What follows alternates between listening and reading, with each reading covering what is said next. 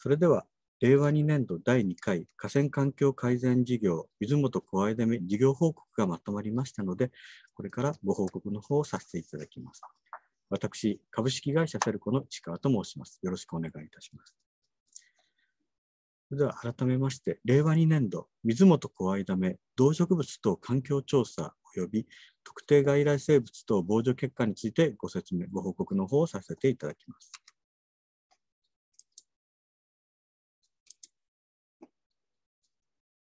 まず、環境調査の目的です。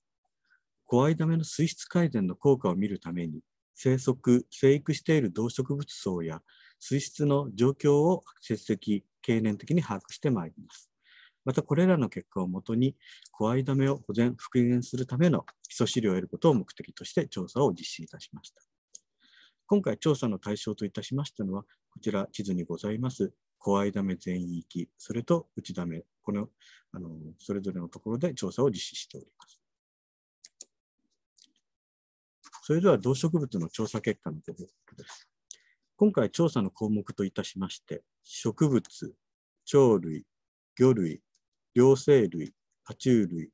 低生動物、トンボ、植物プランクトン、動物プランクトンの各項目について調査を実施いたしました。その結果、植物が210種、鳥類が31種、魚類が19種、両生類2種、爬虫類3種、低生動物14種、トンボ10種、植物プランクトン67種、動物プランクトン63種の合計419種を確認いたしました。このうち重要種に該当いたします種類といたしまして42種、それから外来種が82種含まれておりました。それでは続きまして、植物調査、植物層の報告を行います。植物は59か210種を確認いたしました。このうち重要種は22種でございました。重要種の生態型は、中水植物が12種、それから過半植物が7種と、これらの2種が多く、重要種全体の86%を占めておりました。浸水植物は松本エビの2種でございました。重要種の指数は河岸関係者の土波でございます上流側の区間で16種と多く確認されました。続きまして植物群落のご報告です。植物群落の調査では、あのドローンをあの飛行、小合みの上空にとって飛行させまして、そこで空中写真をまず撮影いたしました。そこで撮った空中写真をもとに、あの実際に現地の方の確認と合わせまして現存植生図を作成いたしました。ちなみにドローンによります植生の季節調査のあの状況ですけれども、例えばこちら、この丸で囲ってあるところが、あの今回、ハスの移植実験を行った場所ですけれども、6月の9日に撮影した時点では、ほとんどあのハスの生育が確認できません。しかし、8月に撮影した状況では、このようにあの広がりが分かるようになっておりまして、さらに10月の段階では非常に広く広がっているということで、あの実際ドローンによってあのその植物と群落の広がりというものがあの明確に分かることが分かりました。続きまして植物調査、毎度種子です。毎度種子の調査ですけれども、こちらは今年度、令和2年度は、この赤で囲ってある3箇所について、小間目のあの定例の泥をあ提出の泥をあの採取いたしました。そして採取した定例量、定例量から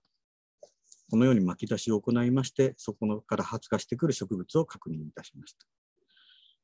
これは昨年度から引き続きで行っておりますが、あの昨年度は平成31年度ではヒシ、それから柳の3種類、令和2年度ではヒシとイの2種類が確認されました。これらの植物はいずれも現在生育している植物でございまして、30年以上前 ,30 年以上前に確認されて、現在見つかっていない植物については、発芽は確認できませんでした。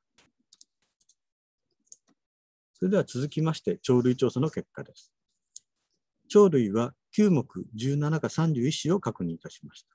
このうち重要種は10種類でございました。生態区分では、カモ類をはじめといたします水辺性鳥類、それから渡り区分では、ムクドリをはじめといたします流鳥の種類が多く確認されました。こちらの方に、あの重要種の例といたしまして、カイツブリやオオバン、パン、コアリサシといったようなあの鳥類を挙げております。続きまして魚類調査の結果です。魚類は8科19種を確認いたしました。このうち重要種は日本ウナギ、土吹き、ニゴイ、ナマズ、沼チジブの5科5種でございました。優先種は在来種ではモツゴ、外来種では大陸バラナナゴでございました。小間目全体をあの通してみますと、種数で見れば、あのどの地点において、どの地点においても在来種が優先している状況が確認できました。ただ、個体数で見てみますと、全体的には大体在来種の方があの外来種よりも多く確認されておりますけれども、こちらステーション後、打ちだめにつきましては、在来種よりも外来種が多いという結果が得られました。それから魚類調査の中では、あの環境 DNA といいまして、あの水の中にあの入っている DNA を分析することで、えっと、そこにあの生息していると考えられる魚類を識別するという調査項目がございます。こちらの方を実施いたしました。この環境 DNA 分析の結果、10種類の魚類が識別されました。このうち半数の5種は生息を確認、もしくは確認している、あの生息している可能性が高いと考えられるものでございました。残り×と三角で示した5種ですけれども、こちらはあの本来外国産であの国内に生息している可能性がほとんどないと考えられる。それから過去に記録はございますけれども、近年確認がされていないもの等でございまして、こちら、あの環境 DNA というのは水の中にあの入ってきた、例えば糞ですとか表皮ですとか、そういったところからの DNA を分析するものなので、あの一部破壊されていたり、あの破損していたりという形で完全でない場合には、このような形でご識別されることがございまして、こういったものについてもあのご識別であったと考えられます。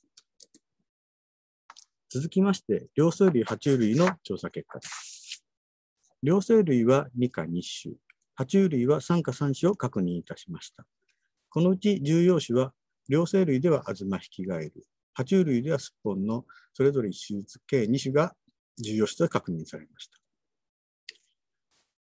それぞれのあの確認状況についてみますと、ウシガエルは特に上流側のステーション1で非常に多くの体、それもあの陽性が、いわゆるオタマジャクシが確認されました。それから爬虫類についてみますと、ステーションを除く、ステーション3を除くあの各地点で大体1種類から2種類ということで、あの全体としては大きな差は出なかった。ただあの、基本的には外来種が大半を占めておりまして、あの上流側のステーション1ですっぽんが確認されて以外は全て外来種でございました。続きまして、定性動物の結果です。定性動物は10目、12科、14種を確認いたしました。14種は1目1科2種でございました。こちらに挙げておりますテナガエビ、それからスジエビの2種類が重要種でございます。定性動物で最も多かったのはミミミズミミズカ、これが総個体数の89%。それから次いでユスリ家族が総個体数の4%と、いずれもあの不栄養環境を好む種類でございました。続きまして、トンボ調査の結果です。トンボは4か10種を確認いたしました。このうち重要種は超トンボ1種のみでございました。確認しましたトンボ類はいずれも幼虫が止水性の種でございました。また、水生植物が多い区間、これはあの上流側の A という区間ですけれども、こちらで種数、それから個体数ともに多く確認されました。続きまして、植物、動物プランクトンの調査結果です。植物プランクトンは67種、動物プランクトンは63種類を確認いたしました。今回確認されました植物、動物プランクトンともに不栄養の環境に出現する種が多く確認されました。代表的なものといたしまして、植物プランクトンではこちらにありますコアミケイソウ、それから中央のイカダモといったようなものが多く確認されました。また、数はそれほど多くはありませんでしたけれども、あの大発生すると青子を形成いたします青子形成種のあの仲間も確認されております。また動物プランクトンでは、こちら、プラキオヌスと呼ばれる、いわゆるツボアムシと呼ばれる壺状の形状をしたあのものが多く確認されました。続きまして、水域外観調査です。水域外観調査では、濁りやあの青子の発生状況など、いくつかの項目を確認いたしましたけれども、今回の項目の中で、あの比較的あの一般的に分かりやすい透視度というものについてご説明をさせていただきます。透視度はあの水の濁り具合をあの調べる指標でございまして、あの透視度があの大き、その数字が大きければ大きいほど水が透明で、逆に濁っているとあのどんどん見えにくくなりまして、あと数字が下がってくるといったような指標でございます。今回の調査結果からは、一部を除き、投資とは年間を通じて20センチ未満となっておりまして、全体としてあの濁った状態であるということが分かりました。続きまして、ハスの試食実験のご報告です。小間目では、あの一昨年ぐらい前、一昨年ぐらいから、あのハスの群落がどんどんあの枯れて消失するという状況があの確認されておりました。それで、あのその原因の解明、それからあのどうすれば復元できるかといったようなことから、今回、ハスの移植実験を行っております。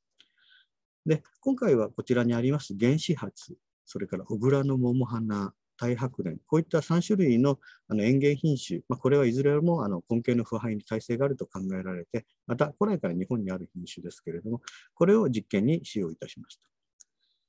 で、実は今までのあのにもこういった移植実験を行い、昨年度も行っておりますけれども、実はあの生物による食害というものが確認されておりまして、実は今年度もこのような形で生物の食害を防止するためにフェンスを設置いたしましたが、そのフェンスの外側であの移植したものにつきましては、このようにですね、えっと、あの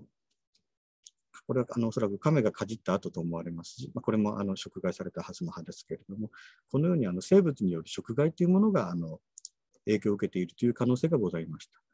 それで実際にあのフェンスで囲いまして、あのその中で実際に食害を受けない状況で発想を育てて育つかどうかと、そういったものを見てみました。